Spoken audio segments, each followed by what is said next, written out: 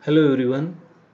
Today we will be going to discuss the one of the competition which is organized under the Savitribai Phule Pune University, the Center for Innovation, Incubation and Enterprise, and our college, the Kekewal Arts, Commerce, Science and Computer Science Sudhanagar College, jointly organize the competition, the Innovation to Enterprise competition.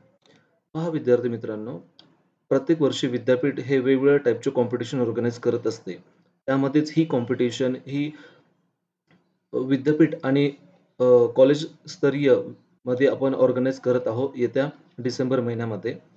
त्या कॉम्पिटिशनचं नाव आहे innovation to enterprise competition या कॉम्पिटिशनचं वैशिष्ट्य असं आहे की यामध्ये सगळ्यात पहिले तुम्हाला सहा वेगवेगळे विषय दिलेले आहेत. यामध्ये इन्फॉर्मेशन टेक्नॉलॉजी असेल इन्फॉर्मेशन टेक्नॉलॉजीमध्ये तुमचा एखादी प्रोजेक्ट रिलेटेड टू एज्युकेशन असेल तर तो education tech environment science related असेल तर environment tech deep deep technology artificial intelligence machine learning big data health technology agriculture technology and finance technology तुम्ही जे आय टीचे विद्यार्थी असेल किंवा आय टीच्या व्यतिरिक्त विद्यार्थी असेल त्यांच्या काही आयडियाज असतील ज्या की इन्फॉर्मेशन टेक्नॉलॉजी रिलेटेड असतील तर त्या यामध्ये प्रेझेंट करू शकत आहेत.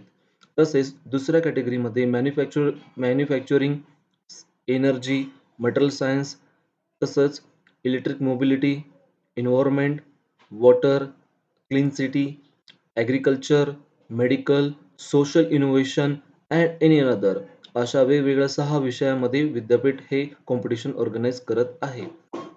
या कॉम्पिटिशनचं वैशिष्ट्य असं आहे की यामध्ये जो जे विद्यार्थी पार्टिसिपेट करतील त्यामध्ये जो ग्रुप असेल त्यात मिनिमम दोन विद्यार्थी असू शकतात किंवा मॅक्झिमम चार विद्यार्थी यामध्ये पार्टिसिपेट करू शकत आहे.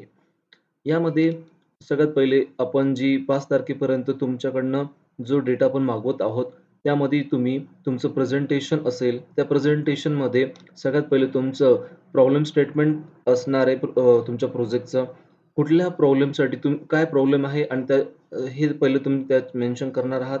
त्यानंतर तुम्ही कुठलं टाईपचं सोल्युशन त्यासाठी प्रोव्हाइड करत आहात. Solution being provided by the innovative team by the two slides त्यानंतर पुढची जी स्लाईड असणार आहे त्यामध्ये comparative analysis of the product and service तुम्ही एखादी प्रोडक्ट बनवलेले असेल किंवा सर्व्हिस असेल ते मार्केटमध्ये कसं कंपॅरिझन तुम्ही करून दाखवू शकत आहात. त्यानंतर the total availability availability market if the product is launch in the market हे प्रोडक्ट अवेलेबल तुम्ही प्रोडक्ट तुम्ही लॉन्च केल्यानंतर मार्केटमध्ये तुम्ही किती प्रोडक्ट मार्केटमध्ये तुम्ही अवेलेबल करून देऊ शकत आहात हे त्यामध्ये असणार आहे. The team composition and mentor credentials तुम्ही तुमचं प्रोडक्ट लॉन्च केल्यानंतरून तुम्ही ते कुठल्या मेंटो मेंटोरिंगच्या अंतर्गत करू शकत आहात? कुठला स्टँडर्डाईजच्या अंतर्गत करू आपण देऊ शकत आहात? तर ते आपण त्यामध्ये मेन्शन करू शकतोय. किंवा तुम्ही सर्वे केलेलं असेल तर त्याच्यामध्ये ते आपण त्यामध्ये तुम्ही मेन्शन करायचं आहे. नंतर तुमचं प्रोडक्टचं काही प्रोटो तुम्ही बनवू शकत असाल किंवा सर्व्हिस बनवू शकत असाल तोपर्यंत ते तुमचे तीन ते पाच मिनिटाचा एखादा व्हिडिओ किंवा प्रेझेंटेशनमध्ये असला पाहिजे. नंतर the plan for the scaling up the presentation should have open in slide mentioning आता ही कॉम्पिटिशन ही विद्यापीठ स्तरीय विद्यापीठ विद्यापीठ ऑर्गनाईज करत आहे तसंच आपलं कॉलेज ऑर्गनाईज करत आहे. तर तुमचं पहिले स्लाइडमध्ये तुमचं कॉलेजचं लोगो येणार आहे. आणि सी आय आय ई हे म्हणजे या इथे मी तुम्हाला तुमचं लोगो दाखवतो. Centre for innovation incubation and enterprise हे असणार आहे आणि कॉलेजचं हे वाला लोगो त्यामध्ये एक येणार आहे. बघा विद्यार्थी मित्रांनो या कॉम्पिटिशनचं वैशिष्ट्य असं आहे की तुम्ही जो कुठलाही तुमचं प्रोजेक्ट हे डेव्हलप करत असाल तर त्या प्रोजेक्टला फायनान्शियल सपोर्ट हे विद्यापीठ तुम्हाला प्रोव्हाइड करू शकत आहे. तसेच कॉलेजसुद्धा तुम्हाला हे कॉम्पिटिशनमध्ये पार्टिसिपेट केल्यानंतर तुम्हाला सक्सेसफुली जे विद्यार्थी त्या शेवटच्या लेवलपर्यंत येतील किंवा त्यामध्ये प्रेझेंटेशन करू शकतील त्यांना विद्यार्थ्यांना सर्टिफिकेट पण कॉलेज त्यामध्ये इश्यू करेल. जर तुम्हाला ह्या कॉम्पिटिशनबद्दल एखादी एक्झाम्पल द्यायचं जर ठरलं तर एका विद्यार्थ्याने जो प्रोजेक्ट डेव्हलप केला होता फॉर एक्झाम्पल आपण बिग बाजारमध्ये जेव्हा आपण एखादी वस्तू परचेस करत जातो आणि नंबर ऑफ जे लोक तिथे आलेले असतात ते जर शंभरपेक्षा जास्त असतील किंवा शंभर असतील तर एवढ्या लोकांचं बिलिंग करण्यासाठी आपल्याला खूप वेळ वेट करावा लागतो. एका विद्यार्थ्यांनी काय केलं एक प्रो एक त्याचं सर्व्हिस डेव्हलप केली. त्यामध्ये जेव्हा तुम्ही एखादी प्रोडक्ट एखाद्या शेलमधून उचलत असाल तर इमिजिएटली तुम्ही तुमचं बिलिंग स्वतः करू शकत आहात. म्हणजे काय? You do your billing within yourself यामध्ये काय होतं? मॅनलेस टेक्नॉलॉजी डेव्हलप झालेली आहे. त्यामध्ये मॅनपॉवर तिथे लागणार नाही आहे टाईम कन्झम्पशन कमी होणार आहे.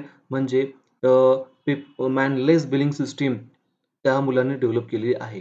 हे यावरती त्यांनी त्याचं पेटंटसुद्धा घेतलेलं आहे. अशा पद्ध आणि त्या विद्यार्थ्याला विद्यापीठाने सुद्धा सपोर्ट केला आहे.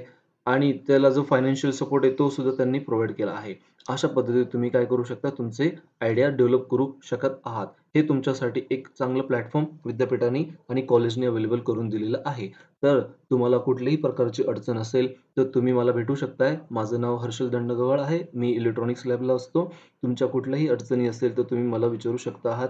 तसेच आपले जे स्टाफ मेंबर्स आहे ते तुम्हाला तुमच्या प्रोजेक्टमध्ये सुद्धा हेल्प करू शकतील.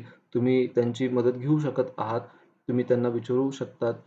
ओके तुम्हाला काही जर अडचण असेल तर तुम्ही मला इलेक्ट्रॉनिक्स लॅबला कॉन्टॅक्ट करू शकत आहात. थँक्यू